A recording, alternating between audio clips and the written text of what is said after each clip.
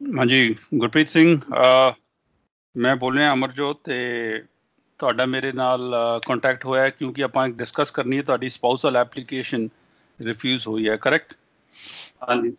ਹਾਂ ਸੋ ਸਭ ਤੋਂ ਪਹਿਲਾਂ ਕਿ ਤੁਹਾਡੀ ਪਰਮਿਸ਼ਨ ਹੈ ਕਿ ਇਸ ਇਸ ਤੁਹਾਡੇ ਕੇਸ ਦੇ ਬਾਰੇ ਆਪਾਂ ਗੱਲ ਕਰ ਸਕਦੇ ਹਾਂ ਕਿਉਂਕਿ YouTube ਤੇ ਜਨਤਕ ਹੋ ਜਾਏਗੀ ਇਨਫੋਰਮੇਸ਼ਨ ਤੇ ਲੋਕੀ ਦੇਖ ਸਕਦੇ ਆ ਸੋ ਵੀ ਹੈਵ ਅ ਪਰਮਿਸ਼ਨ ਹਾਂਜੀ ਹਾਂਜੀ ਬਿਲਕੁਲ ਓਕੇ ਥੈਂਕ ਯੂ ਸੋ ਥੋੜਾ ਜਿਹਾ ਨਿਚੋੜ ਜੋ ਮੈਨੂੰ ਪਤਾ ਹੈ ਉਹਦੇ ਬਾਰੇ ਮੈਂ ਇੰਟਰੋਡਕਸ਼ਨ ਕਰਦੇ ਆ ਫਿਰ ਤੁਸੀਂ ਮੈਨੂੰ ਦੱਸ ਦਿਓ ਕਿ ਵੀ is it okay or not you are you are married to a Canadian woman who is uh, from Philippines. ਤੇ ਇਸ ਵਕਤ ਉਹ ਕੈਨੇਡਾ ਰਹਿ ਰਹੀ ਹੈ। ਉਹਨਾਂ ਨੇ ਤੁਹਾਨੂੰ ਸਪਾਂਸਰ ਕੀਤਾ। ਸਪਾਂਸਰਸ਼ਿਪ ਐਪਲੀਕੇਸ਼ਨ ਡਿਕਲਾਈਨ ਹੋ ਗਈ। ਉਹਦੇ ਬਾਅਦ ਫਿਰ ਉਹਨਾਂ ਨੇ ਅਪੀਲ ਕੀਤੀ ਹੈ ਕੋਰਟ ਇਮੀਗ੍ਰੇਸ਼ਨ ਰਿਫਿਊਜੀ ਬੋਰਡ ਦੀ। ਤੇ ਇਮੀਗ੍ਰੇਸ਼ਨ ਰਿਫਿਊਜੀ ਬੋਰਡ ਨੇ ਵੀ ਤੁਹਾਡੀ ਐਪਲੀਕੇਸ਼ਨ ਖਾਰਜ ਕਰਤੀ। ਅਪੀਲ ਖਤਮ ਹੋ ਗਈ ਸੋ that is the stage where you are right now correct? ਹਾਂਜੀ ਠੀਕ ਹੈ ਇਸ ਤੋਂ ਪਹਿਲਾਂ ਕਿ ਮੈਂ ਤੁਹਾਡੇ ਤੋਂ ਕੋਈ ਸਵਾਲ ਪੁੱਛਾਂ ਤੁਸੀਂ ਆਪਣੇ ਬਾਰੇ ਕੁਝ ਦੱਸਣਾ ਚਾਹੋਗੇ ਜਾਂ ਆਪਣੇ ਕੇਸ ਦੇ ਬਾਰੇ ਕੁਝ ਜੋ ਐਮ ਇਹਦੇ ਵਿੱਚ ਕੋਈ ਹੈ ਇੰਪੋਰਟੈਂਟ ਗੱਲਾਂ ਨੇ ਕੋਈ ਵਿੱਚ ਦੇ ਮੈਂ ਇਹੀ ਦੱਸਣਾ ਚਾਹਣਾ ਜੀ ਸਾਰਿਆਂ ਨੂੰ ਜਿੰਨੇ ਵੀ ਸੁਣਨ ਵਾਲੇ ਆ ਵੀ ਸਹੀ ਤੁਸੀਂ ਅਟਾਰਨੀ ਦੇ ਕੋਲ ਜਾਓ ਜਿਹੜਾ ਤੁਹਾਨੂੰ ਸਹੀ ਤਰੀਕੇ ਨਾਲ ਗਾਈਡ ਕਰ ਸਕਦਾ ਹੋਵੇ ਦੈਟਸ ਰਾਈਟ ਅਦਰਵਾਈਜ਼ ਜੇ ਕਿਉਂਕਿ ਲੋਕ ਜਾਂਦੇ ਸੁਣੀਆਂ ਸੁਣਾਈਆਂ ਗੱਲਾਂ ਸੁਣ ਕੇ ਜਿੱਦਾਂ ਅਸੀਂ ਗਏ ਉਹਨਾਂ ਕੋਲ ਕੋ ਅਸੀਂ ਕਹਿੰਦੇ ਸ਼ਾਇਦ ਗੋਰਾ ਵਧੀਆ ਹੁੰਦਾ ਇੰਡੀਅਨ ਨਾਲੋਂ ਜੇ ਹੈ ਮੇਰੀ ਥਿੰਕਿੰਗ ਸੀ ਮੇਰੇ ਘਰ ਵਾਲੇ ਦੀ ਮੇਰੀ ਥਿੰਕਿੰਗ ਸੀ ਤੇ ਉਹਨੇ ਸਾਨੂੰ ਹੋਰ ਪੁੱਠੇ ਰਾਹ ਪਾਤਾ ਸਾਰਾ। ਹੂੰ। ਦੇਖੋ ਇਸ ਤਰ੍ਹਾਂ ਹੈ ਕਿ ਵਕੀਲ ਤੇ ਭਾਵੇਂ ਕੋਈ ਗੋਰਾ ਹੋ ਕਾਲਾ ਹੋ ਜਾਂ ਕੋਈ ਹੋਰ ਕੋਈ ਕਲਰ ਦਾ ਹੋ ਵਕੀਲ ਤੇ ਵਕੀਲ ਦੀ ਵਕੀਲ ਦੀ ਚੋਣ ਕਰਨੀ ਤੇ ਇਸ ਤਰ੍ਹਾਂ ਹੈ ਕਿ ਵਧੀਆ ਤੁਹਾਨੂੰ ਡਾਕਟਰ ਮਿਲ ਜਾਏ ਪਤਾ ਨਹੀਂ ਕਿਹੜੀ ਦਵਾਈ ਤੁਹਾਨੂੰ ਸੈੱਟ ਆ ਜਾਏ ਤੇ ਉਹਦੇ ਨਾਲ ਤੁਹਾਡਾ ਇਲਾਜ ਹੋ ਜਾਂਦਾ ਹੈ। ਇਹ ਮੁਸ਼ਕਿਲ ਹੁੰਦਾ ਹੈ ਕਿ ਪਤਾ ਕਰੀਏ ਕਿ ਵੀ ਕਿਹੜਾ ਭਰੋਸੇ ਲਾਇਕ ਹੈ। So sometimes is a mistake ਤੇ ਜੋ ਹੋ ਗਿਆ ਹੋ ਗਿਆ। ਸੋ ਤੁਸੀਂ ਮੈਨੂੰ ਇਹ ਦੱਸੋ ਕਿ ਤੁਹਾਡੀ ਮੈਰਿਜ ਨੂੰ ਕਿੰਨੇ ਸਾਲ ਹੋ ਗਏ? ਮੈਰਿਜ ਜੀ 2015 ਚ ਹੋਈ 1 ਅਪ੍ਰੈਲ ਨੂੰ। 2015 ਨੂੰ ਮੈਰਿਜ ਹੋਈ ਹੈ। ਤੇ ਮੈਰਿਜ ਦੇ ਬਾਅਦ ਉਸ ਵਕਤ ਤੁਸੀਂ ਕਿੱਥੇ ਮੈਰਿਜ ਹੋਈ ਹੈ? ਕਿਹੜੀ ਜਗ੍ਹਾ ਹੋਈ ਮੈਰਿਜ ਯੂਨਾਈਟਿਡ ਸਟੇਟ ਕੀਤੀ ਯੂ ਐਸ ਏ ਨੈਪਲਸ ਅੱਛਾ ਯੂ ਐਸ ਮੈਰਿਜ ਕੀਤੀ। ਉਹ ਮੇਰੇ ਖਿਆਲ ਯੂ ਐਸ ਤੋਂ ਆਈ ਸੀ ਤੁਹਾਨੂੰ ਮੈਰਿਜ ਕਰਨ ਲਈ? ਹਾਂ ਨਿਊ ਕੈਨੇਡਾ ਤੋਂ U S I C marriage ਕਰਨ ਲਈ। ਅੱਛਾ। ਤੁਸੀਂ ਅਮਰੀਕਾ ਕਿਸ ਤਰ੍ਹਾਂ ਰਹਿ ਰਹੇ ਹੋ ਮੈਂ ਜੀ ਪਹਿਲਾਂ ਟੂਰਿਸਟ ਵੀਜ਼ੇ ਤੇ ਗਿਆ ਸੀ। ਓਕੇ ਤੇ ਉਸ ਤੋਂ ਬਾਅਦ ਫਿਰ ਮੈਂ ਇੱਕ ਵਾਰ ਹਾਂਗਕਾਂਗ ਵੀ ਉਹਨੂੰ ਮਿਲਣ ਆਇਆ ਦੋ ਵਾਰ। ਹਾਂ।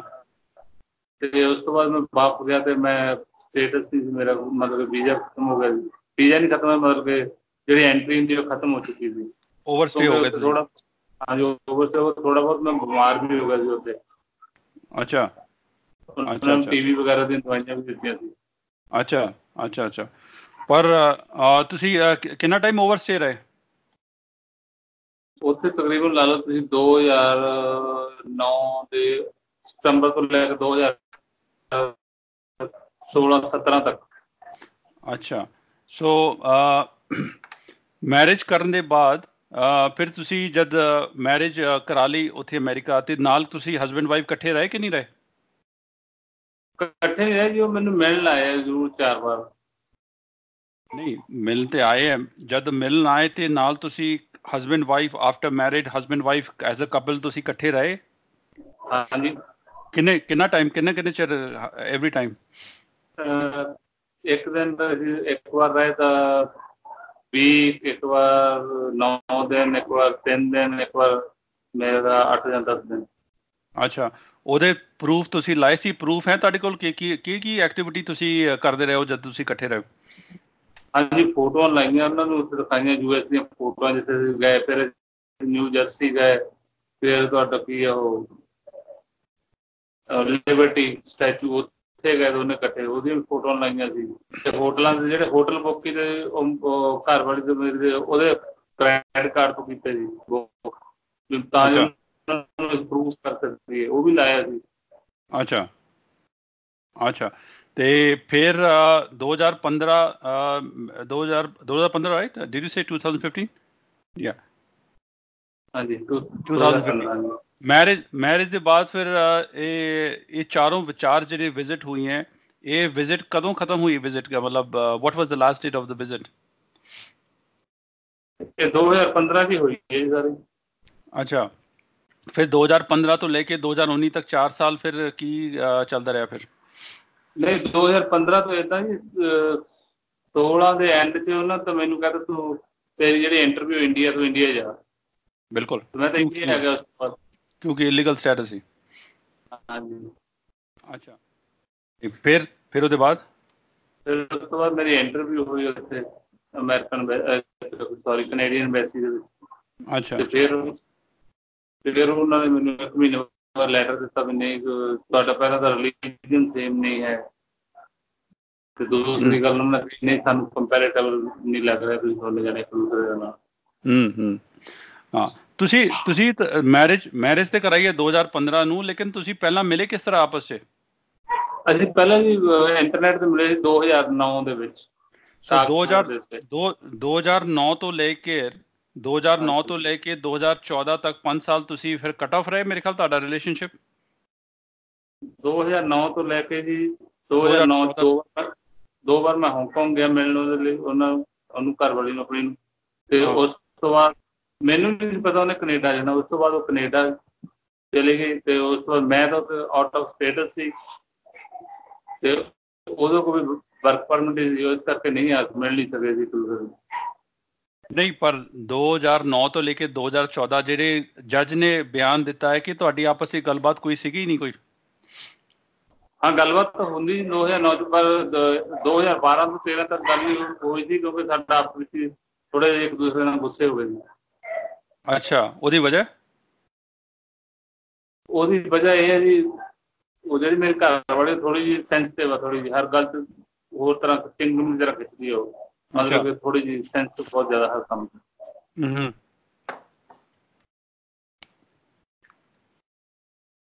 ਜੱਜ ਨੇ ਜੋ ਅਲਟੀਮੇਟਮ ਦਿੱਤਾ ਇਹਦੇ ਵਿੱਚ ਕਿਹਾ ਕਿ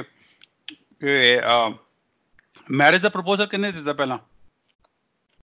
ਉਹਨੇ ਦਿੱਤਾ ਸੀ ਮਾਰਿਆ ਨੂੰ। ਅੱਛਾ।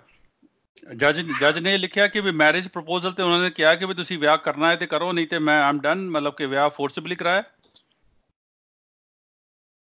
ਨਹੀਂ ਨਹੀਂ ਨਹੀਂ ਫੋਰਸਬਲੀ ਨਹੀਂ। ਇੱਕ ਰਜਾਮੰਦੀ ਦੇ ਤਰੀਕੇ ਨਾਲ ਉਹ ਉਹਨੇ ਮੈਨੂੰ ਕਿਹਾ ਕਿਹਾ ਵੀ ਤੂੰ ਵੀ ਜੇ ਮਤਲਬ ਕਿ ਜਿੱਦਾਂ ਆਪਾਂ ਕਹਿੰਦੇ ਆ ਨਾ ਵੀ ਚਲ ਮੈਂ ਪ੍ਰਪੋਜ਼ ਕਰ ਦਿੱਤਾ ਤੈਨੂੰ ਤੂੰ ਵਿਆਹ ਪਾਏਗਾ ਮੇਰੇ ਇਸ ਤਰੀਕੇ ਨਾਲ ਜਿੱਦਾਂ ਉਹ ਕੋਈ ਫੋਰਸ ਵਾਲਾ ਗੱਲ ਨਹੀਂ ਸੀ। ਹੂੰ। ਜਾਂ ਤੁਹਾਡੇ ਵਕੀਲ ਨੇ ਉਹਨੂੰ ਪ੍ਰੋਪਰਲੀ ਸਮਝਿਆ ਨਹੀਂ ਜਾਂ ਦੱਸਿਆ ਨਹੀਂ ਜੱਜ ਦਾ ਫੈਸਲਾ ਇਹਨੇ ਦਿੱਤਾ ਕਿ ਬਈ ਮੈਰਿਜ ਪ੍ਰਪੋਜ਼ਲ ਤੁਹਾਡੇ ਵਾਈਫ ਵੱਲੋਂ ਤੁਹਾਨੂੰ ਆਇਆ ਤੇ ਉਹਨਾਂ ਨੇ ਕਿਹਾ ਕਿ ਬਈ ਜੇ ਅਗਰ ਮੈਰਿਜ ਮੈਰਿਜ ਤੁਹਾਨੂੰ ਕਰਾਣੀ ਪੈਣਗੀ ਕਿ ਅਦਰਵਾਈਜ਼ ਨਹੀਂ ਤੇ ਮਤਲਬ she will take any action ਕਿਉਂਕਿ ਪਹਿਲਾਂ ਸ਼ਾਇਦ ਤੁਹਾਡੇ ਕੁਝ ਰਿਲੇਸ਼ਨਸ਼ਿਪ ਪਹਿਲਾਂ ਹਾਂਗਕਾਂਗ ਵਿੱਚ ਵੀ ਬਣ ਗਏ ਸੀ ਵਿਦਆਊਟ ਇਵਨ ਮੈਰਿਜ ਇਸ ਤਰ੍ਹਾਂ ਉਹਨਾਂ ਨੇ। ਦੱਸਿਆ। ਇਸ ਤਰ੍ਹਾਂ ਇਸ ਤਰ੍ਹਾਂ ਦੱਸਿਆ। ਇਹ ਸਹੀ ਹੈ? ਹਾਂਜੀ ਸਹੀ ਹੈ। ਤੁਹਾਨੂੰ ਉਹਨਾਂ ਨੇ ਡੇਟਾਂ ਪੁੱਛੀਆਂ ਡੇਟ ਡੇਟ ਤੁਹਾਨੂੰ ਯਾਦ ਨਹੀਂ ਸੀ ਐਕਚੁਅਲੀ ਕਈ ਵਾਰ ਪੁੱਛਿਆ ਜਿਹੜੇ ਅਪੀਲ ਅਪੀਲ ਦੇ ਟਾਈਮ ਕਿ ਕਿ। ਪ੍ਰਪੋਜ਼ਲ ਦੀ ਪ੍ਰਪੋਜ਼ਲ ਦੀ ਡੇਟ ਕਦੋਂ ਹੈ ਤੁਹਾਨੂੰ ਪ੍ਰਪੋਜ਼ਲ ਦੀ ਡੇਟ ਵੀ ਯਾਦ ਨਹੀਂ ਹੈ? ਹਾਂਜੀ ਐਕਚੁਅਲ ਦੇ ਵਿੱਚ ਨਾ ਸਰ ਮੇਰੀ ਮੈਮਰੀ ਬਹੁਤ ਵੀਕ ਆ। ਤੁਹਾਡੀ ਮੈਮਰੀ ਵੀਕ ਹੈ। ਮੇਰੀ ਆਪਣੀ। ਅੱਛਾ। ਤੇ ਮੈਂ ਕਈ ਵਾਰ ਭੁੱਲ ਜਾਣਾ ਨਹੀਂ ਉਹ ਚਲੋ ਇਹ ਤੇ ਅਪੀਲ ਤੋਂ ਪਹਿਲਾਂ ਐਕਚੁਅਲੀ ਵਕੀਲ ਨਾ ਤਿਆਰੀ ਕਰਦੇ ਆ ਡੇਟਾ ਤੁਹਾਨੂੰ ਯਾਦ ਹੋਣੀ ਜ਼ਰੂਰੀ ਹੈ। ਕਿਹੜੇ ਕਿਹੜੇ ਸਰਕਮਸਟੈਂਸਸ ਦੇ ਕਿਹੜੇ ਕਿਹੜੇ ਤੱਥ ਹੈ ਕਿਹੜੇ ਕਿਹੜੇ ਫੈਕਟਸ ਹੈ ਇਹ ਜਦ ਤੱਕ ਯਾਦ ਨਹੀਂ ਹੋਣਗੇ ਤਦ ਤੱਕ ਉਹਨਾਂ ਨੂੰ ਪਤਾ ਨਹੀਂ ਲੱਗਦਾ ਕਿ ਵੀ ਤੁਹਾਡੀ ਟੈਸਟਮਨੀ ਜਿਹੜੀ ਗਵਾਹੀ ਕ੍ਰੈਡੀਬਲ ਵੀ ਹੈ ਕਿ ਨਹੀਂ ਹੈ। So that's that's a big problem ਚਲੋ ਦੈਟਸ ਦੈਟਸ ਓਕੇ ਤੇ ਕੋਈ ਮੈਮਰੀ ਦੇ ਬਾਰੇ ਕੋਈ ਮੈਡੀਕਲ ਕੋਈ ਸਰਟੀਫਿਕੇਟ ਲਾਇਆ ਸੀ ਕਿ ਮੈਮਰੀ ਮੇਰੀ ਕਮਜ਼ੋਰ ਹੈ ਜਾਂ ਕੋਈ। ਮੈਡੀਕਲ ਪ੍ਰੋਬਲਮ ਕਿਉਂ ਨਹੀਂ ਲਾਇਆ ਫਿਰ? ਕਿਉਂ ਨਹੀਂ ਲਾਇਆ? ਤੋ ਮੈਂ ਨਾ ਕਿਸੇ ਨੂੰ ਕਿਹਾ ਵੀ ਲਾ ਤੇ ਨਾ ਮੈਂ ਕੋਈ ਮੈਡੀਕਲ ਲੈ ਰਿਹਾ ਮੈਂ ਇਸ ਬਾਰੇ। ਅੱਛਾ ਅੱਛਾ। ਨਹੀਂ ਇਹ ਤੇ ਮਤਲਬ ਇਹ ਲੈਣਾ ਲੈਣਾ ਸੀ ਨਾ ਕਿ ਅਦਰਵਾਈਜ਼ ਜੇ ਤੁਹਾਨੂੰ ਅਗਰ ਯਾਦ ਨਹੀਂ ਕੁਝ so it is very important ਕਿ ਤੁਹਾਨੂੰ ਦੱਸਣਾ ਸੀ ਕਿ ਕਿਉਂ ਕਿਉਂ ਯਾਦ ਨਹੀਂ ਹੈ। ਅ, ਬਾਕੀ ਮਤਲਬ ਕਿ 2009 ਤੋਂ ਲੈ ਕੇ ਫਿਰ 2014 ਤੱਕ ਇਹ ਜਿਹੜਾ ਮੈਰਿਜ ਦਾ ਪ੍ਰਪੋਜ਼ਲ ਬਣਿਆ ਹੈ ਉਹਨਾਂ ਦੀ ਮੇਰੇ ਖਿਆਲ ਪੀਆਰ ਦੀ ਐਪਲੀਕੇਸ਼ਨ ਕਦੋਂ ਸ਼ੁਰੂ ਹੋ ਗਈ ਸੀ ਕਦੋਂ ਲੱਗ ਗਈ ਸੀ? ਉਹ ਤਾਂ ਮੇਰੇ ਕੋਲ ਕਲੀਅਰ ਵੀ 2015 ਚ ਮਿਲੀ ਹੈ ਨਹੀਂ 2015 ਚ 2014 ਮਿਲੀ ਹੈ। ਲੇਕਿਨ ਤੁਹਾਡਾ ਜਿਹੜਾ ਕੰਟੈਕਟ ਇੱਕ ਵਾਰ ਸ਼ੁਰੂ ਹੋਇਆ 2009 ਤੋਂ ਸ਼ੁਰੂ ਹੋਇਆ ਲੇਕਿਨ 2014 ਤੱਕ ਕੰਟੈਕਟ ਨਹੀਂ ਰਿਹਾ। ਕੰਟੈਕਟ ਤੁਹਾਡਾ ਦੁਬਾਰਾ ਸ਼ੁਰੂ ਹੋਇਆ ਜਨਵਰੀ 2014 ਨੂੰ। ਨੇ 2009 2010 11 ਚ ਵੀ ਅਸੀਂ ਗੱਲ ਕਰਦੇ ਰਹੇ ਜੀ। ਉਹਨਾਂ ਨੂੰ ਐਵੀਡੈਂਸ ਲਾਏ ਸੀ ਅਸੀਂ। ਤੇ ਇਹਦਾ ਮਤਲਬ ਉਹਨਾਂ ਨੇ ਜਾਂ ਤੇ ਜੱਜ ਨੇ ਉਹਨਾਂ ਨੂੰ ਮੰਨਿਆ ਨਹੀਂ ਜਾਂ ਤੁਹਾਡੇ ਵਕੀਲ ਨੇ ਕਿਹਾ ਨਹੀਂ ਉਹਨਾਂ ਵਕੀਲ ਨੇ ਜੋ ਵੀ ਜੋ ਵੀ ਤੁਹਾਡੇ ਵਕੀਲ ਹੈ ਜਾਂ ਜੋ ਵੀ ਤੁਹਾਡੀ ਜਿਹੜੀ ਗੱਲਬਾਤ ਹੋਈ ਹੈ, ਜੱਜ ਨੇ ਇਹ ਕਿਹਾ ਹੈ ਕਿ 2009 ਸਤੰਬਰ 2009 ਤੋਂ ਬਾਅਦ 2014 ਜਨਵਰੀ ਦੇ ਬਾਅਦ ਤੁਹਾਡਾ ਦੋਨਾਂ ਦਾ ਕੰਟੈਕਟ ਦੁਬਾਰਾ ਸ਼ੁਰੂ ਹੋਇਆ। ਇਹ ਇਹ ਸਾਨੂੰ ਪਤਾ ਨਹੀਂ ਕਿ ਵੀ ਇੰਨਾ ਇੰਨਾ ਜ਼ਿਆਦਾ ਗੈਪ ਹੈ, ਉਹ ਕਿਉਂ ਰਹਿ ਗਿਆ? ਜਿਹੜੇ ਸਰਕਾਰੀ ਵਕੀਲ ਨੇ ਕਿਹਾ ਹੈ ਕਿ ਵੀ ਲੱਗਦਾ ਜ਼ਰੂਰ ਹੈ ਕਿ ਕਿਉਂਕਿ ਹਸਬੈਂਡ ਦੈਟ ਮੀਨਸ ਤੁਸੀਂ ਉਹਨਾਂ ਦੀ ਪੀਆਰ ਦੀ ਐਪਲੀਕੇਸ਼ਨ ਦੀ ਵੇਟ ਕਰ ਰਹੇ ਹੋ। ਜਦੋਂ ਪੀਆਰ ਦੀ ਐਪਲੀਕੇਸ਼ਨ ਉਹਨਾਂ ਦੀ ਫਾਈਨਲਾਈਜ਼ ਹੋ ਗਈ ਤੁਸੀਂ ਸੋਚ ਲਿਆ ਕਿ ਵੀ ਹੁਣ ਦੁਬਾਰਾ ਪ੍ਰੇਮ ਬੜਾਇਆ ਜਾਏ।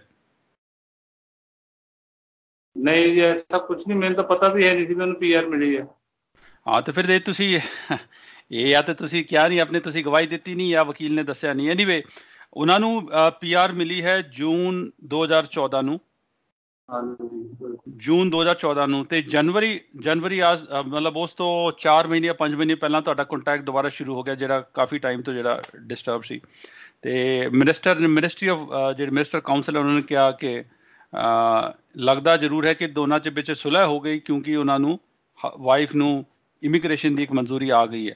ਸੋ ਇਸ ਕਰਕੇ ਉਹ ਮਤਲਬ ਸੈਟੀਸਫਾਈ ਨਹੀਂ ਹੈ ਕਿ ਤੁਹਾਡਾ ਇਰਾਦਾ ਮਤਲਬ ਪਿਆਰ ਮੁਹੱਬਤ ਵਾਲਾ ਹੈ ਜਾਂ ਕਿਆ ਤੁਸੀਂ ਪੀਆਰ ਲਈ ਨਿਗਾਹ ਕਰਕੇ ਤੁਸੀਂ ਦੇਖ ਰਹੇ ਹੋ ਕਿ ਉੱਥੇ ਪੀਆਰ ਹੋਏਗੀ, ਫਿਰ ਦੁਬਾਰਾ ਉੱਥੇ ਮੈਰਿਜ ਕਰਕੇ ਜਾਓਗੇ? So this is what this is what they feel and ਦੇਖੋ, ਗੱਲ ਇਦਾਂ ਹੈ ਕਿ ਇਹ ਇੱਕ ਲੌਜੀਕਲ ਚੀਜ਼ ਹੈ ਕਿ ਵੀ ਇਹ ਸੋਚਦਾ ਹੈ ਕਿ ਹਰ ਇੱਕ ਇਨਸਾਨ ਪੀਆਰ ਲਈ ਜਾ ਰਿਹਾ ਲੇਕਿਨ ਤੁਸੀਂ ਇਹ ਇਸ ਚੀਜ਼ ਨੂੰ ਕਲੈਰੀਫਾਈ ਨਹੀਂ ਕੀਤਾ ਫॉर ਵਟਐਵਰ ਰੀਜ਼ਨਸ ਸੋ ਇਸ ਕਰਕੇ ਉਹਨਾਂ ਨੂੰ ਜ਼ਰੂਰ ਇਹ ਸ਼ੱਕ ਲੱਗਿਆ। ਉਹਦੇ ਬਾਅਦ ਫਿਰ ਫਿਰ ਇਹ ਦੇਖੋ ਕਿ ਆਪਣਾ ਲੈਟ ਮੀ ਸੀ ਤੁਹਾਨੂੰ ਉਹਨਾਂ ਨੇ ਕਾਫੀ ਸਾਰੀ ਇਨਫੋਰਮੇਸ਼ਨ ਪੁੱਛੀ ਆਪਣੇ ਵਾਈਫ ਦੇ ਬਾਰੇ। ਤੁਹਾਨੂੰ ਆਪਣੇ ਵਾਈਫ ਦੇ ਬਾਰੇ ਨੌਲੇਜ ਨਹੀਂ ਸੀ ਕਿ ਵੀ ਉਹ ਜੌਬ ਕੀ ਕਰਦੀ ਸੀ। ਹਾਂਗਕਾਂਗ ਤੁਹਾਨੂੰ ਨਹੀਂ ਪਤਾ ਸੀ ਜੌਬ ਕੀ ਕਰਦੀ ਹਾਂਗਕਾਂਗ ਤੇ ਤੇ ਬਾਕੀ ਤੁਹਾਡੇ ਜਿਹੜੇ ਵਾਈਫ ਤੇ ਵਾਈਫ ਤੇ ਫੈਮਿਲੀ ਵਿੱਚ ਕੌਣ-ਕੌਣ ਹੈ ਕਿਹੜੇ-ਕਿਹੜੇ ਮੈਂਬਰ ਨੇ, ਉਹਦੇ ਬਾਰੇ ਤੁਹਾਨੂੰ ਨਹੀਂ ਨੌਲੇਜ ਸੀ। ਸੋ ਸਵਾਲ ਮੇਰਾ ਹੈ ਕਿ ਤੁਸੀਂ ਅਗਰ ਇੰਨੇ ਦੇਰ ਤੋਂ ਆਪਣੀ ਵਾਈਫ ਨਾਲ ਜੁੜੇ ਹੋਏ ਹੋ, ਤੁਹਾਨੂੰ ਉਹਨਾਂ ਦੇ ਬਾਰੇ ਜਾਂ ਉਹਨਾਂ ਦੀ ਫੈਮਿਲੀ ਦੇ ਬਾਰੇ ਨੌਲੇਜ ਕਿਉਂ ਨਹੀਂ ਹੈ? ਨਹੀਂ, ਮੈਂ ਉਹਨਾਂ ਦੱਸਿਆ ਸੀ ਵੀ ਭੈਣ ਭਰਾ ਮੈਨੂੰ ਪਤਾ ਉਹ ਉਹਨਾਂ ਨੇ ਮੈਨੂੰ ਇਹ ਪੁੱਛਿਆ ਸੀਗਾ ਜਦੋਂ ਮੈਂ ਇੰਟਰਵਿਊ ਹੋਈ ਵੀ ਕੀ ਤੁਸੀਂ ਉਹਦੀ ਮੰਮੀ ਨਾਲ ਗੱਲ ਕਰਦੇ ਹੋ? ਮੈਂ ਕਿਹਾ ਉਹਦੀ ਮੰਮੀ ਇੰਨੀ ਸ਼ਾਈ ਹੈ ਉਹਨੇ ਕਦੇ ਮੇਰੇ ਨਾਲ ਗੱਲ ਹੀ ਨਹੀਂ ਕੀਤੀ ਹੈ।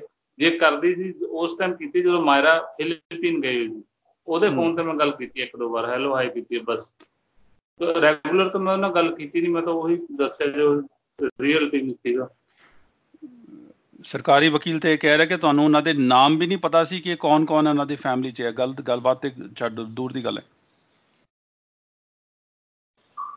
ਨਾ ਤਾਂ ਮੈਨੂੰ ਨਹੀਂ ਸੀ ਪਤਾ ਸਹੀ। ਦੋ ਦੋ ਜਣਾਂ ਦਾ ਨਾਮ ਦੇਖੋ ਦੇਖੋ ਗੱਲਾਂ ਗੱਲਾਂ ਕੁਲਦੀਪ ਇਸ ਤਰ੍ਹਾਂ ਹੁੰਦਾ ਹੈ ਕਿ ਇਹ ਸਾਰਾ ਜਿਹੜਾ ਐਗਜ਼ਾਮੀਨੇਸ਼ਨ ਸਿਸਟਮ ਹੈ ਨਾ ਜਿਹੜੇ ਫੈਮਿਲੀ ਰਿਲੇਸ਼ਨਸ਼ਿਪ ਦਾ ਫੈਮਿਲੀ ਸਪਾਂਸਰਸ਼ਿਪ ਦਾ ਐਗਜ਼ਾਮੀਨੇਸ਼ਨ ਸਿਸਟਮ ਹੈ ਇਹ ਤੇ ਖੜਾ ਹੋਇਆ ਹੈ ਕਿ ਹਸਬੰਡ ਵਾਈਫ ਨੂੰ ਇੱਕ ਦੂਜੇ ਦੇ ਬਾਰੇ ਕਿੰਨੀ ਨੌਲੇਜ ਹੈ। ਅਗਰ ਜੇ ਤੁਸੀਂ ਕਹੋ ਕਿ ਮੈਨੂੰ ਯਾਦ ਨਹੀਂ ਹੈ, ਮੇਰੀ ਮੈਮੋਰੀ ਵੀਕ ਹੈ, ਜੇ ਮੈਂ ਕਦੀ ਪਰਵਾਹ ਨਹੀਂ ਕੀਤੀ ਕਿ ਪਤਾ ਕਰੀਏ ਕਿ ਮਦਰ ਸ਼ਾਈ ਹੈ, ਉਹਦੇ ਨਾਲ ਗੱਲ ਨਹੀਂ ਕੀਤੀ ਹੈ ਫਾਦਰ ਨਾਲ ਗੱਲ ਨਹੀਂ ਕੀਤੀ ਬ੍ਰਦਰ ਸਿਸਟਰ ਨਾਲ ਗੱਲ ਨਹੀਂ ਕੀਤੀ।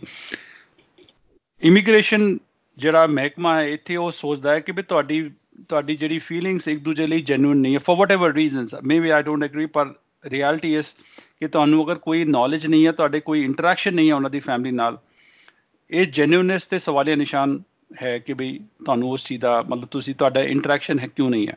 ਸੋ ਇਸ ਕਰਕੇ ਤੁਹਾਨੂੰ ਕਈ ਵਾਰ ਉਹਨਾਂ ਨੇ ਹੋਰ ਵੀ ਪੁੱਛਿਆ ਕਿ ਉਹ ਜੌਬ ਕੀ ਕਰਦੀ ਹੈ? ਤੁਹਾਨੂੰ ਇਹਦੇ ਬਾਰੇ ਵੀ ਨਹੀਂ ਪਤਾ ਸੀ ਕਿ ਉਹ ਜੌਬ ਵੀ ਕੀ ਕਰਦੀ ਹੈ? ਜੌਬ ਉਹਦਾ what is her employment in Canada ਤੁਹਾਨੂੰ ਪਤਾ ਹੈ ਕਿ ਜੌਬ ਕੀ ਕਰਦੀ ਸੀ ਉਸ ਵਕਤ? ਕੈਨੇਡਾ ਮੈਂ ਉਹਨੂੰ ਦੱਸਿਆ ਜੀ। ਉਹਨਾਂ ਨੇ ਦੱਸਿਆ ਉਹਨੂੰ ਫੈਕਟਰੀ 'ਚ ਕੰਮ ਕਰਦੀ ਹੈ। ਪਹਿਲਾਂ ਉਹ ਚਾਕਲੇਟ ਦੀ ਕੋਈ ਫੈਕਟਰੀ ਸੀ ਉਹਦੇ ਵਿੱਚ ਕੰਮ ਕਰਦੀ ਸੀ।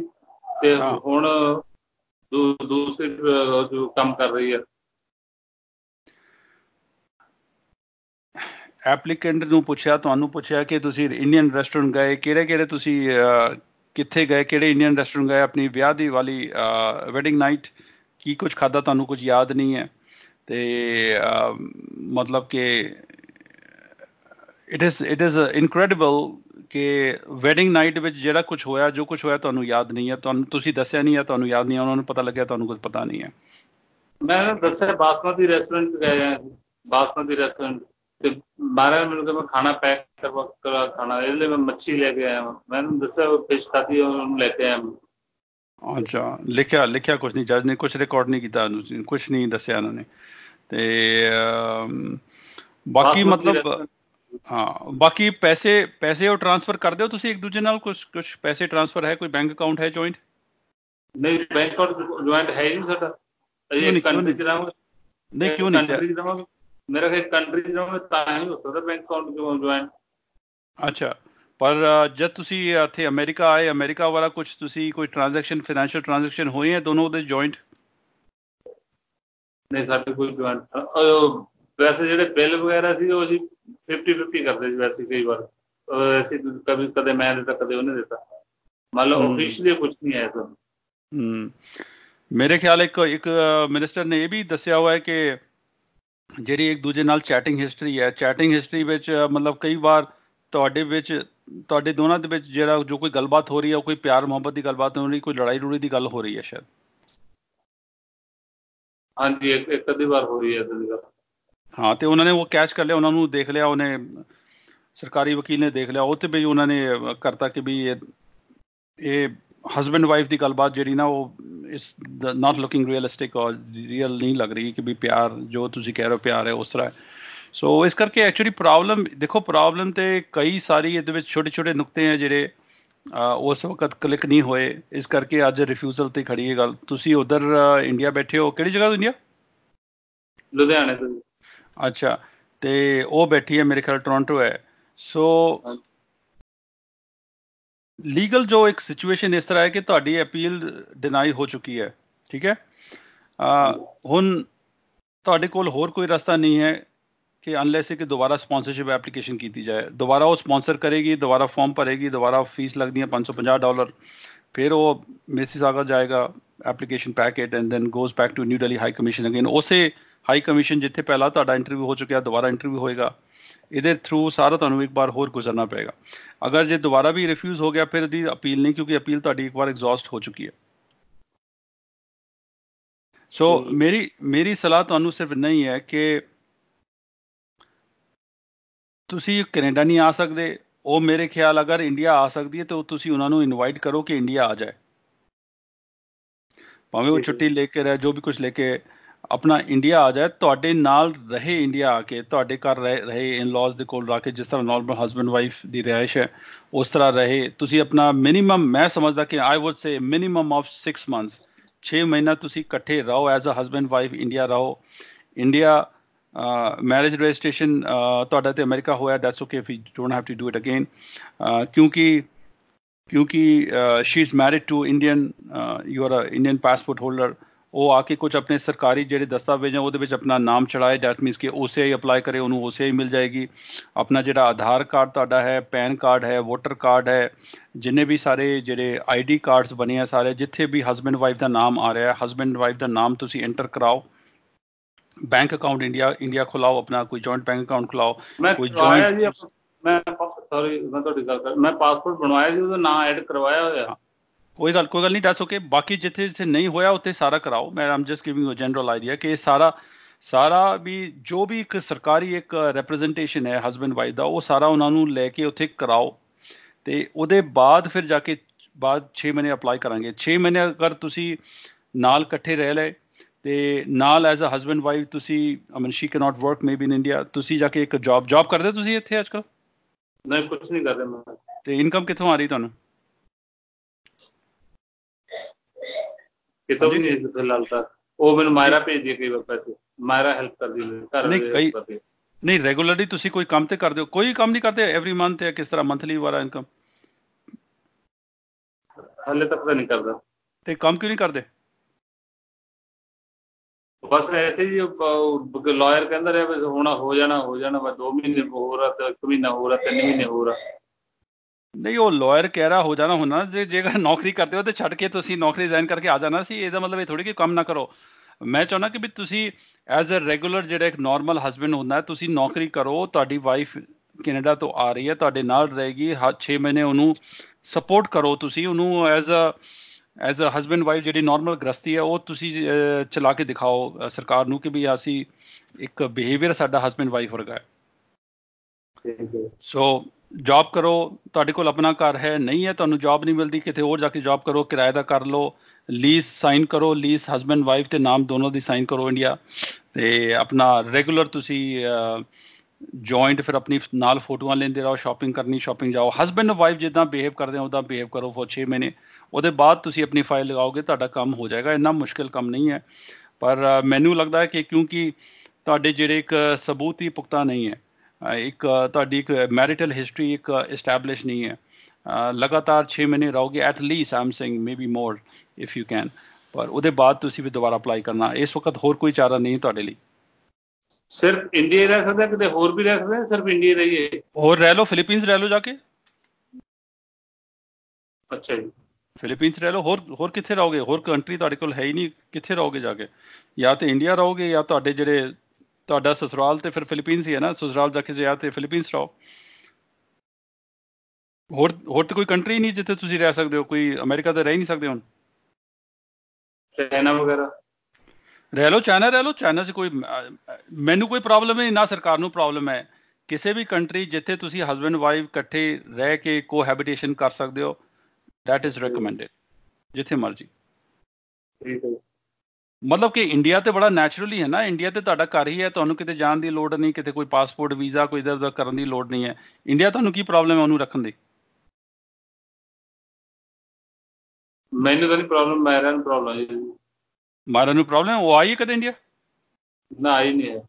ਤੇ ਤੁਹਾਨੂੰ ਕੀ ਲੱਗਦਾ ਕਿ ਉਹਨੇ ਹੁਣ ਵੀ ਆਣਾ ਸੀ ਪਰ ਲੇਕਿਨ ਉਹ ਗਰਮੀ ਦੇ ਨਾਲ ਪ੍ਰੋਬਲਮ ਹੁੰਦੀ ਹੈ ਥੋੜੀ ਚਲੋ ਚਲੋ ਗਰਮੀ ਦਾ ਇਲਾਜ ਤੇ ਇਹ ਹੈ ਕਿ ਮਹੀਨਾ ਠਹਿਰ ਜਾਓ 2 ਮਹੀਨੇ ਠਹਿਰ ਜਾਓ। ਇਹ ਗਰਮੀ ਦਾ ਇਲਾਜ ਹੋ ਜਾਏਗਾ। ਜਾਂ ਤੇ ਜ਼ਰੂਰੀ ਹੈ ਤੁਸੀਂ ਲੁਧਿਆਣੇ ਹੀ ਰਹਿਣਾ ਤੁਸੀਂ ਜਾ ਕੇ ਕਿਤੇ ਹਿਮਾਚਲ ਰਹਿ ਲਓ ਕਿਤੇ ਹੋਰ ਗੋਆ ਰਹਿ ਲਓ ਜਾਂ ਕੇਰਲਾ ਰਹਿ ਲਓ ਉੱਥੇ ਰਹਿ ਲਓ ਜਾ ਕੇ। ਠੀਕ ਹੈ ਜੇ ਅਗਰ ਤੁਸੀਂ ਨਹੀਂ ਚਾਹੁੰਦੇ ਕਿ ਵੀ ਤੁਹਾਡੇ ਜਿਹੜੇ ਇੱਥੇ ਜਿਹੜੇ ਤੁਹਾਡੇ ਮਹੱਲੇ ਵਾਲੇ ਨੂੰ ਪਤਾ ਲੱਗੇ ਕਿ you know I do not ਨੋ ਕਿ ਵੀ ਵਾਟ ਤੁਸੀਂ ਆਪਣੇ ਘਰਦਿਆਂ ਨੂੰ ਸਾਰੇ ਦੱਸਿਆ ਹੋਇਆ? ਹਾਂ ਉਹਨਾਂ ਨੂੰ ਪਤਾ ਹੈ ਸਰ। ਉਹਨਾਂ ਨੂੰ ਕੋਈ ਪ੍ਰੋਬਲਮ ਤਾਂ ਨਹੀਂ? ਨਹੀਂ ਕੋਈ ਪ੍ਰੋਬਲਮ ਅਗਰ ਜੇ ਕੋਈ ਪ੍ਰੋਬਲਮ ਨਹੀਂ ਤੇ ਲਿਆਓ ਨੂੰ ਨੂੰ ਲਿਆਓ ਉੱਥੇ ਬਾ ਕੈਨੇਡਾ ਤੋਂ ਆਈ ਹੈ ਨਾਲ ਰਹੇਗੀ, ਨਾਲ ਆਪਣਾ ਕੰਮ ਕਰੇਗੀ ਕੁਝ ਨਾ ਕੁਝ ਸਾਫ਼ ਸਫ਼ਾਈ ਕਰੇਗੀ, ਘਰ ਦੇ ਕੋਈ ਸਬਜ਼ੀ ਤਰਕਾਰੀ ਬਣਾਏਗੀ ਕੁਝ ਇੰਡੀਅਨ ਕੁਝ ਕੁਝ ਕਰੇਗੀ। ਆਪਸ ਵਿੱਚ ਇੰਟੀਗ੍ਰੇਸ਼ਨ ਹੋਏਗਾ ਸਰ ਜੀ, ਤੁਸੀਂ ਸਮਝੋ, ਇਸ ਚੀਜ਼ ਨੂੰ ਉਹ ਵੀਜ਼ਾ ਅਫਸਰ ਦੇਖਦੇ ਆ। ਆ ਕੇ ਹੋ ਸਕਦਾ ਕਿ ਉਹਦਾ ਡਰੈਸਿੰਗ ਸੈਂਸ ਬਦਲ ਜਾਏ, ਕੋਈ ਸਾੜੀ, ਸੂੜੀ ਜਾਂ ਸੂਟ, ਸਾਟ ਪਾਣ ਲੱਗ ਜਾਏ। You never know what what can happen ਇਸ ਤਰ੍ਹਾਂ ਦੀ ਜਦ ਜਦ ਉਹ ਇੱਕ ਨਾਰਮਲ ਗ੍ਰਸਤੀ ਬਣੇਗੀ ਤੇ 6 ਮਹੀਨੇ ਬਾਅਦ ਤੁਸੀਂ ਮੇਰੀ ਗੱਲ ਯਕੀਨ ਕਰੋ ਤੁਹਾਡੀ ਫਾਈਲ ਮੈਂ ਲਾਵਾਂਗਾ ਆਪਣੇ ਆਪ ਤੁਹਾਡੇ ਤੁਹਾਨੂੰ ਵੀਜ਼ਾ ਮਿਲੇਗਾ। ਹੌਸਲਾ ਛੱਡਣ ਦੀ ਲੋੜ ਨਹੀਂ ਹੈ ਆਪਣੇ ਪੋਜ਼ਿਟਿਵ ਆਊਟਲੁੱਕ ਕਰ ਦੇਖੋ ਜ਼ਿੰਦਗੀ ਦਾ। ਇਹ ਮੌਕਾ ਹੈ ਕਿ ਉਹਨੂੰ ਆਪਣਾ ਇੰਡੀਆ ਦਾ ਦਰਸ਼ਨ ਕਰਾਓ ਤੁਸੀਂ ਇੰਡੀਆ ਦਾ ਉੱਥੇ ਆਪਣਾ ਆਪਣੇ ਫੈਮਿਲੀ ਵਿੱਚ ਉਹਨੂੰ ਜੁਆਇਨ ਕਰਾਓ। ਤੇ ਇਸ ਵਕਤ ਐਪਲੀਕੇਸ਼ਨ ਲਾਉਣ ਦੀ ਲੋੜ ਨਹੀਂ ਆਈ ਵੁੱਡ ਰეკਮੈਂਡ ਕਿ ਮਿਨੀਮਮ 6 ਮੰਥ ਤੁਸੀਂ ਨਾਲ ਇਕੱਠੇ ਰਹੋਗੇ। ਤਾਂ ਐਪਲੀਕੇਸ਼ਨ ਕਰਨਾ ਆਪਣੇ ਆਪ ਕਰਨਾ ਆਪਣੇ ਆਪ ਕਰ ਸਕਦੇ ਹੋ ਕਿਸੇ ਹੋਰ ਕਰਾਣਾ ਕਰਾ ਲਓ ਮੇਰੇ ਤੋਂ ਕਰਾਣਾ ਜਦੋਂ ਮਰਜ਼ੀ ਕਰਨਾ ਕਰ ਸਕਦੇ ਹੋ ਜ਼ਰੂਰੀ ਨਹੀਂ ਕਿ ਵੀ ਕੋਈ ਲਾਇਰ ਕਰੇ ਆਪਣੇ ਆਪ ਵੀ ਕਰ ਸਕਦੇ ਹੋ। ਪਰ ਮੈਂ ਤਿੰਨ ਤਿੰਨ ਚਾਰ ਗੱਲਾਂ ਮੈਂ ਜਿਹੜੇ ਮੈਂ ਜਿਹੜਾ ਜ਼ੋਰ ਦੇ ਰਿਹਾ ਬਾਰ-ਬਾਰ ਕਿ ਅਗਰ ਉਹ ਆਏਗੀ ਆਣਾ ਚਾਹੀਦਾ ਉਹਨੂੰ ਬੁਲਾਓ। ਤੇ ਸਾਰੇ ਸਰਕਾਰੀ ਦਸਤਾਵੇਜ਼ ਉਹਨਾਂ ਦਾ ਨਾਮ ਚੜਿਆ ਹੋਣਾ ਚਾਹੀਦਾ। ਰੋਜ਼ ਫੋਟੋਆਂ ਲਓ, ਨਵੀਂ ਨਵੀਂ ਜੇ ਸ਼ਾਪਿੰਗ ਜਾ ਰਹੇ, ਫੋਟੋਆਂ ਲਓ, ਕੋਈ ਮੰਦਿਰ ਗੁਜਰਾਤ ਜਾ ਰਹੇ, ਉਧਰ ਦੀ ਫੋਟੋਆਂ ਲਓ। ਜਿਹੜੇ ਕਿਸੇ ਦੇ ਘਰ ਜਾ ਰਹੇ ਹੋ ਐਜ਼ ਅ ਹਸਬੰਡ ਉਧਰ ਦੀ ਫੋਟੋ ਲਓ, ਕਿਤੇ ਹਨੀਮੂਨ ਵਗੈਰਾ ਕਿਤੇ ਹੋਟਲ ਕਰਦੇ ਹੋਟਲ ਦੇ ਬਿੱਲ ਹੋਣੇ ਚਾਹੀਦੇ, ਇੱਕ ਦੂਜੇ ਨੂੰ ਗਿਫਟ ਦੇਣੇ ਉਹਦੇ ਬਿੱਲ ਹੋਣੇ ਚਾਹੀਦੇ ਆ। ਜਿਹੜੇ ਇੰਡੀਅਨ ਕਸਟਮਸ ਵਾਲਾ ਜਿਹੜਾ ਕੋਈ ਆਏਗਾ, ਕੋਈ ਦੁਸ਼ਹਿਰਾ ਦੀਵਾਲੀ ਵਾਲਾ ਜਿਹੜਾ ਕੋਈ ਇੰਡੀਅਨ ਫੈਸਟੀਵਲ ਹੋ ਰਿਹਾ, ਉਹਦੇ ਵਿੱਚ ਉਹ ਪਾਰਟਿਸਿਪੇਟ ਕਰ ਰਹੀ, ਉਹਦੇ ਫੋਟੋਆਂ ਲਓ।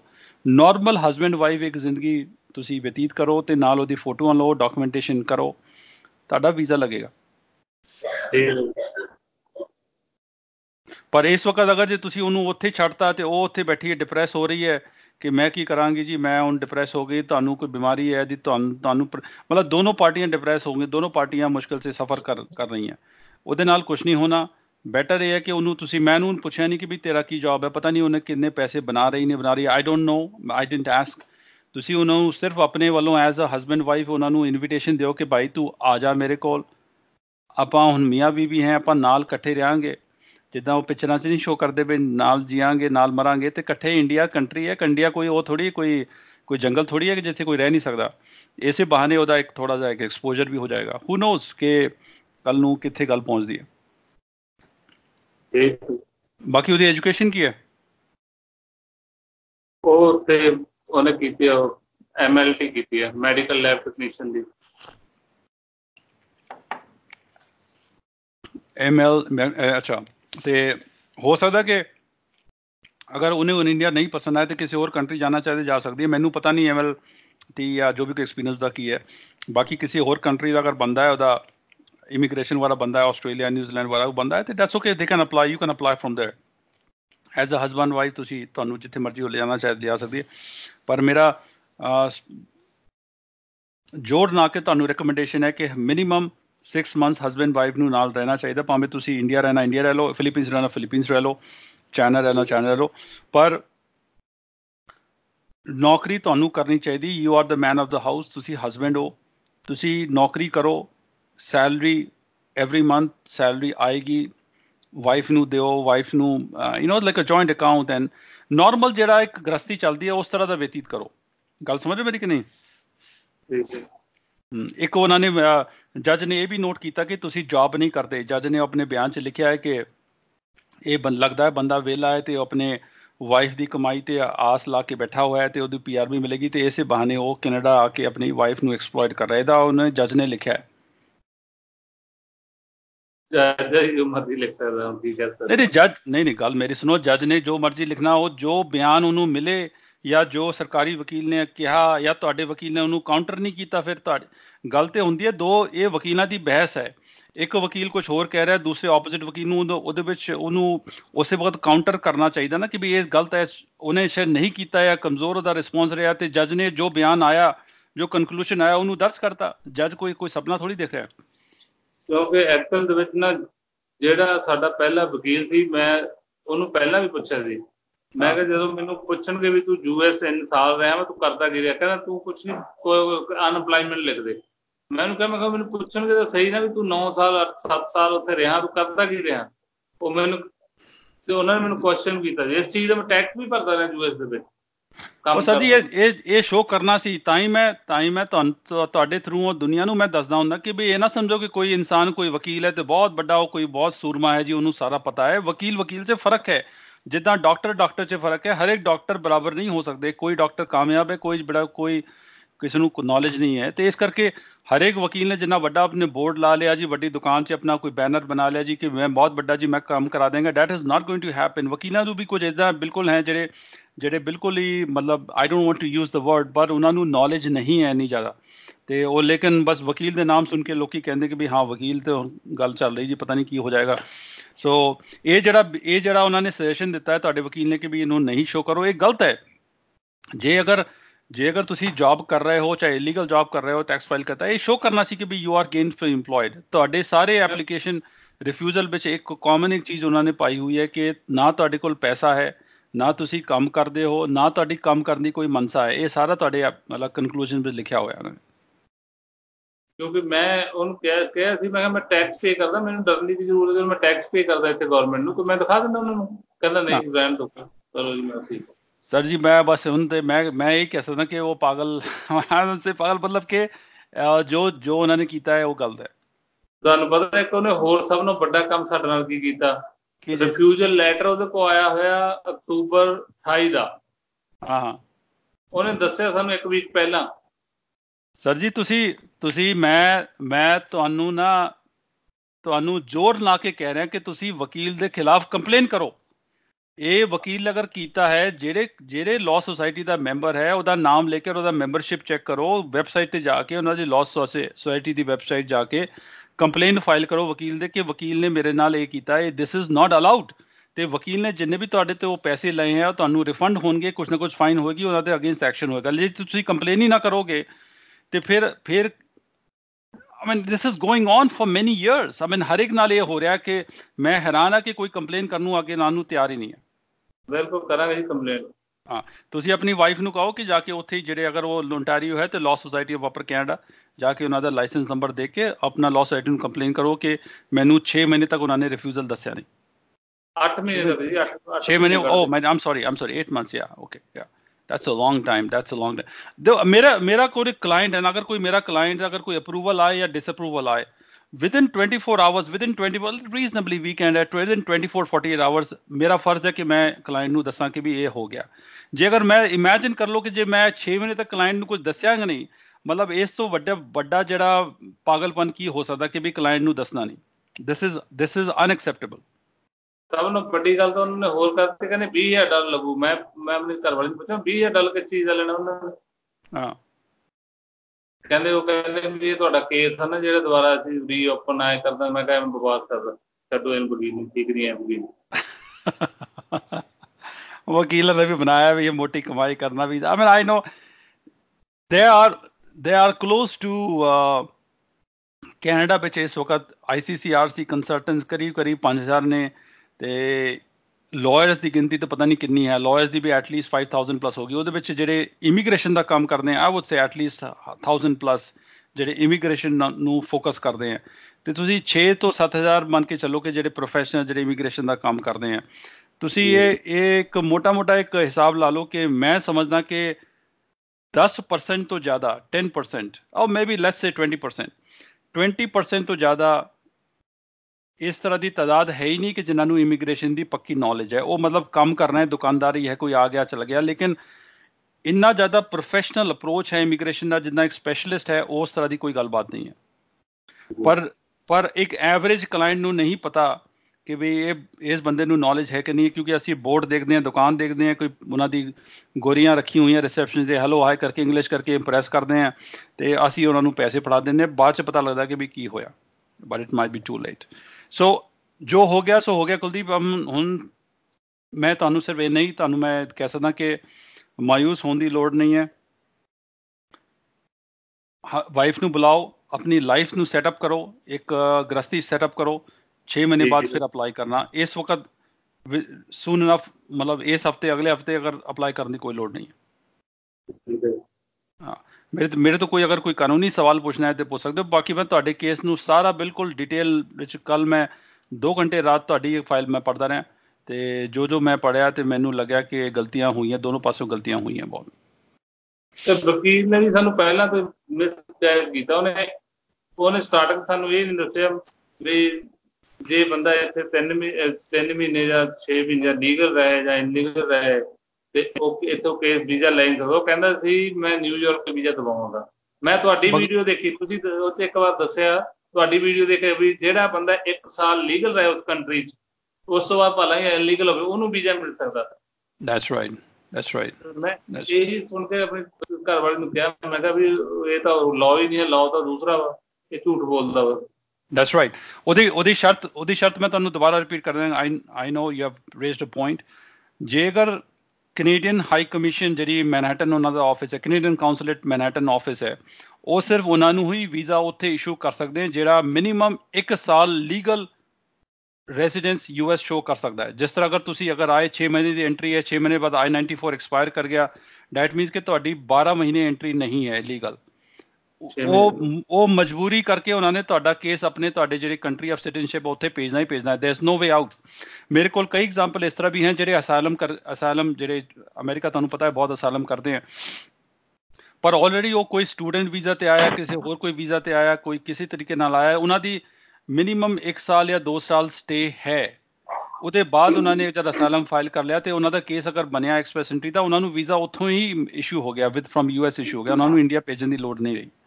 ਸੋ ਇੱਕ ਇੱਕ ਲਾਅ ਹੈ ਲੇਕਿਨ ਲੇਕਿਨ ਤੁਸੀਂ ਇਹ ਮੰਨੋ ਕਿ ਇੰਨੇ ਵੱਡੇ ਵੱਡੇ ਆਪਣੇ ਨਾਮੀ ਗ੍ਰਾਮੀ ਵਕੀਲਾਂ ਵਕੀਲਾਂ ਨੂੰ ਇਹ ਹੀ ਨੌਲੇਜ ਨਹੀਂ ਹੈ ਕਿ ਵੀ ਵੀਜ਼ਾ ਕਿੱਥੋਂ ਇਸ਼ੂ ਹੋਣਾ ਹੈ ਤੇ ਦੱਸੋ ਤੁਸੀਂ ਹੁਣ 20000 ਰੁਪਏ ਕਾਦੇ ਲਈ 20000 ਡਾਲਰ ਕਾਦੇ ਲਈ ਮੰਗ ਰਹੇ ਹੋ ਪਤਾ ਨਹੀਂ ਮੈਂ ਇਦਾਂ ਹੀ ਚਲਾਈ ਜਾਂਦੇ ਆ ਆਪਣੇ ਬਸ ਇਸ ਤਰ੍ਹਾਂ ਹੀ ਚੱਲ ਰਿਹਾ so thank you very much Kuldeep ਅਗਰ ਮੇਰੇ ਤੋਂ ਕੋਈ ਅਗਰ ਕੋਈ ਲੀਗਲ ਸਵਾਲ ਪੁੱਛਣਾ ਹੈ ਤੇ ਤੁਸੀਂ ਪੁੱਛ ਸਕਦੇ ਹੋ ਪਰ ਤੁਹਾਨੂੰ ਮੈਂ ਆਪਣਾ مشورہ ਆਪਣੀ ਤੁਹਾਨੂੰ ਐਡਵਾਈਸ ਦੇਤੀ ਕਿ ਤੁਸੀਂ ਉਹ ਕਰੋ ਪਲੀਜ਼ ਤੇ ਤੁਹਾਡਾ ਵੀਜ਼ਾ ਲੱਗੇਗਾ। ਬਿਲਕੁਲ ਲੱਗਿਆ ਮਤਲਬ ਹੁਣ ਜੂਨ ਚੱਲ ਰਿਹਾ। ਜੇ ਅਗਰ ਤੁਸੀਂ ਆਪਣੀ ਵਾਈਫ ਨੂੰ ਬੁਲਾ ਲਓ ਜੁਲਾਈ ਅਗਸਤ ਬੁਲਾ ਲਓ ਸ਼ਾਇਦ ਮੌਸਮ ਵੀ ਠੀਕ ਹੋ ਜਾਏ। ਤੇ ਮੈਂ ਸਮਝਦਾ ਕਿ ਕ੍ਰਿਸਮਸ ਦੇ ਟਾਈਮ ਦੇ ਬਾਅਦ ਤੁਸੀਂ ਆਪਣੀ ਫਾਈਲ ਲਾ ਸਕਦੇ ਹੋ। ਠੀਕ ਹੈ ਜੀ। ਬੜੀ ਮਿਹਰਬਾਨੀ। ਜੇ ਅਗਰ ਫਿਲੀਪੀਨਸ ਜਾਣਾ ਫਿਲੀਪੀਨਸ ਚਲੇ ਜਾਓ।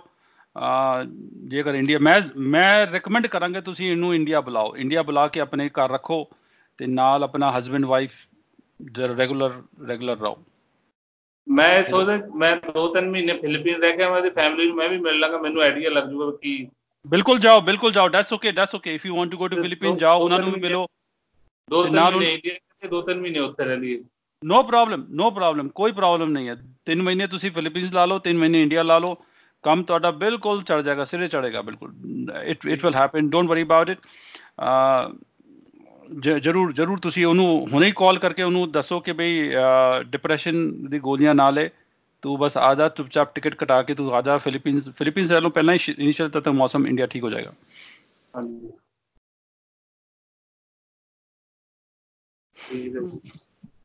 ਕੋਈ ਗੱਲ ਨਹੀਂ ਡਰਨ ਦੀ ਲੋੜ ਨਹੀਂ ਹੁੰਦਾ ਜ਼ਿੰਦਗੀ 'ਚ ਹੁੰਦਾ ਇੱਕ ਨਾ ਨਹੀਂ ਡਰਨਾ ਰੱਖੀ ਹੈ ਜੀ। ਹਾਂ ਮੈਨੂੰ ਮੈਨੂੰ ਲੱਗਦਾ ਕਿ ਤੁਸੀਂ ਇੰਡੀਆ ਰਹਿ ਰਹੇ ਹੋ ਲੇਕਿਨ ਤੁਹਾਨੂੰ ਬਾਰ-ਬਾਰ ਅਮਰੀਕਾ ਦੀ ਯਾਦ ਸਤਾ ਰਹੀ ਲੱਗ ਰਿਹਾ ਮੈਨੂੰ। ਨਹੀਂ ਇਹ ਗੱਲ ਤਾਂ ਨਹੀਂ ਹੈ ਜੀ ਪਰ ਲੇਕਿਨ ਗੱਲ ਇਹ ਹੈ ਜੇ ਉਹ ਇਦਾਂ ਨਾਮ ਗਾਈਡ ਕਰਦਾ ਨਾ ਸਾਨੂੰ ਲਾਇਰ ਅਟਾਰਨੀ ਜੋ ਵੀ ਕਾਲ ਕਰਦੇ ਉੱਥੇ ਤੇ ਮੈਂ ਆਪਣੀ ਮੈਂ ਆਪਣੀ ਵਾਈਫ ਨੂੰ ਸਟਾਰਟਿੰਗ ਤੋਂ ਇਹ ਕਹਿੰਦਾ ਜੀ ਮੈਂ ਕਿਹਾ ਤੂੰ ਗਲਤ ਕਰ ਰਹੀ ਹੈ ਤੈਨੂੰ ਕੇਸ ਨਹੀਂ ਲਾਉਣਾ ਚਾਹੀਦਾ। ਤੂੰ ਵਰਕ ਪਰਮਿਟ ਲੈ ਕੇ ਜਦੋਂ ਤੈਨੂੰ ਪਾਸਪੋਰਟ ਮਿਲਿਆ ਵਰਕ ਪਰਮਿਟ ਲੈ ਕੇ ਯੂਨਾਈਟਿਡ ਸਟੇਟ ਆ ਜਾ ਵਿਆਹ ਸਾਡਾ ਹੋਇਆ ਹੋਇਆ। ਆਟੋਮੈਟਿਕਲੀ ਇੱਥੇ ਹੋ ਜਾਣਾ ਸਾਰਾ ਕੰਮ। ਉਹ ਮੰਨੇ ਨਹੀਂ ਲਾਇਰ ਕਹਿੰਦਾ ਨਹੀਂ ਜੀ ਮੈਂ ਵੀ ਕਰ ਦੂੰ ਉਹ ਵੀ ਕਰ ਦੂੰ। ਦੈਟ ਇਜ਼ ਰਾਈਟ ਤੁਹਾਡਾ ਸਜੈਸ਼ਨ ਠੀਕ ਹੈ। ਅਗਰ ਉਹ ਕੈਨੇਡਾ ਛੱਡ ਕੇ ਅਗਰ ਅਮਰੀਕਾ ਵੀ ਆ ਜਾਂਦੀ ਨਾ ਹਾਂਜੀ ਕੁਝ ਨਹੀਂ ਹੋਣਾ ਜੀ।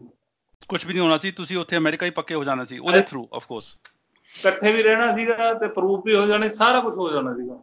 ਬਸ ਉਹ ਉਹ ਗੱਲ ਗੱਲ ਉਹ ਗੱਲ ਇਦਾਂ ਇਹਦਾ ਕਿਸਮਤ ਦਾ ਫੇਰ ਇਸ ਤਰ੍ਹਾਂ ਚੱਲਿਆ ਕਿ ਵੀ ਉਧਰ ਵੀਜ਼ਾ ਇੰਟਰਵਿਊ ਆ ਗਿਆ ਉਹਨਾਂ ਨੇ ਤੁਹਾਨੂੰ ਕਿਹਾ ਕਿ ਵੀ ਜਾਓ ਅਮਰੀਕਾ ਛੱਡ ਕੇ ਚਲੇ ਜਾਓ।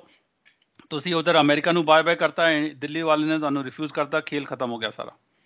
ਚਲੋ ਜੋ ਰੱਬ ਨੂੰ ਮਨਜ਼ੂਰ ਬਾਈ ਨੂੰ ਜਾਣਦਾ। ਜੋ ਦੀ ਮਰਜ਼ੀ ਇੱਕ ਇੱਕ ਚੀਜ਼ ਮੈਂ ਮੈਂ ਤੁਹਾਨੂੰ ਹੱਥ ਜੋੜ ਕੇ ਗੁਜ਼ਾਰਿਸ਼ ਕਰਾਂਗਾ ਪਲੀਜ਼ ਅਗਰ ਜੇ ਤੁਸੀਂ ਬੁਰਾ ਨਾ ਮੰਨੋ ਪਰਸਨਲੀ ਮੈਂ ਤੁਹਾਨੂੰ ਰეკਮੈਂਡ ਕਰਾਂਗਾ ਕਿ ਪਲੀਜ਼ ਜਾ ਕੇ ਕੱਲ ਪਰਸੋਂ ਜਾ ਕੇ ਕੋਈ ਨੌਕਰੀ ਸ਼ੁਰੂ ਕਰੋ ਆਪਣੀ। ਠੀਕ ਹੈ ਜੀ ਕਰ ਲੈਂਦੇ ਕੋਈ ਵੀ ਨੌਕਰੀ ਮਿਲਦੀ ਹੈ ਜਿੱਦਾਂ ਕੀ ਆਪਣੀ ਕੁਆਲੀਫਿਕੇਸ਼ਨ ਕੀ ਹੈ? ਮੈਂ ਡਿਗਰੀ ਕੀਤੀ ਇਲੈਕਟ੍ਰੀਕਲ ਇੰਜੀਨੀਅਰਿੰਗ ਦੀ। ਕਿਹੜੇ ਕਾਲਜ ਤੋਂ? ਗੁਰੂ ਨਾਨਕ ਇੰਜੀਨੀਅਰਿੰਗ ਕਾਲਜ ਲੁਧਿਆਣਾ ਤੋਂ। ਤੇ ਉਹਦੇ ਬਾਅਦ ਫਿਰ ਕੋਈ ਪ੍ਰੋਫੈਸ਼ਨਲ ਐਕਸਪੀਰੀਅੰਸ ਲਿਆ ਕਿ ਨਹੀਂ?